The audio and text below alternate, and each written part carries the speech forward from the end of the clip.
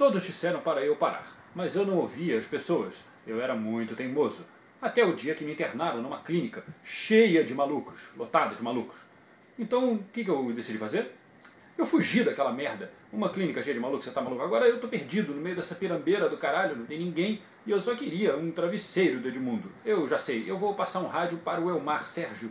Sim, a solução é essa.